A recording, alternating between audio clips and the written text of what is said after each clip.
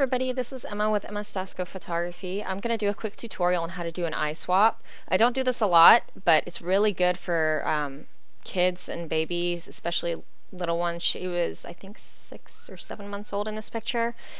Um, and babies tend to look away from the camera a lot. They just kind of look everywhere. So sometimes you get a great shot and they won't be looking at it like this one. Like I really like this shot, um, but I want her to be looking at me.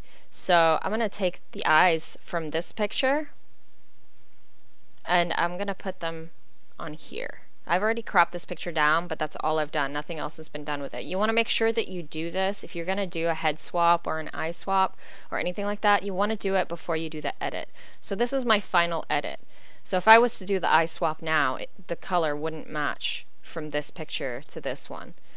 So you want to do it right at the beginning before you even do any of your skin smoothing or retouching or anything. It's the first thing I do if I need to do it.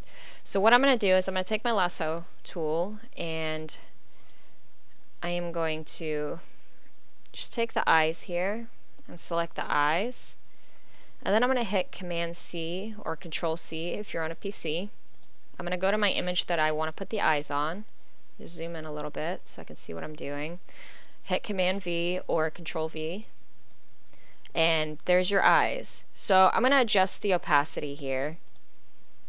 I'm going to turn it down to about 50% so that I can see where I'm putting the eyes. So this is my eye layer right here. So I'm going to hit Command T or Control T for PC and that's going to select them. So the hardest part I think is just getting them lined up just right. Everything else is really easy. So I'm just going to start resizing. The angle is a little bit different on these eyes as well. So I'm just going to adjust them here, and then I'm just going to start resizing them. Kind of eye it.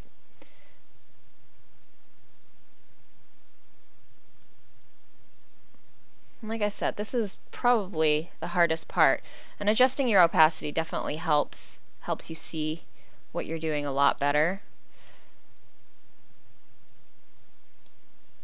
Well, this is getting pretty close already. Just a little bit more adjusting.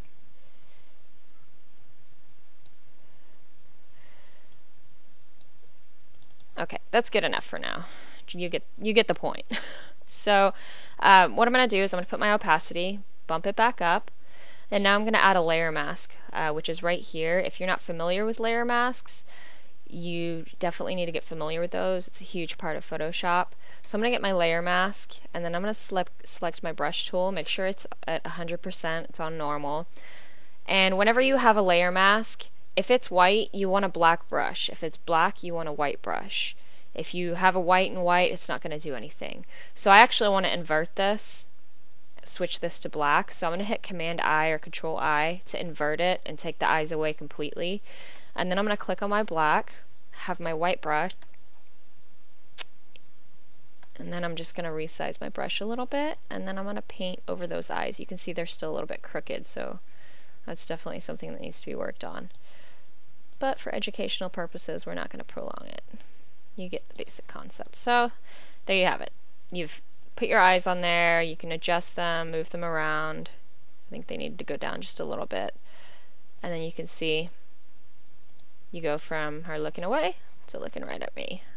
And there you have it. That's it. And then, like I said, this is your final image.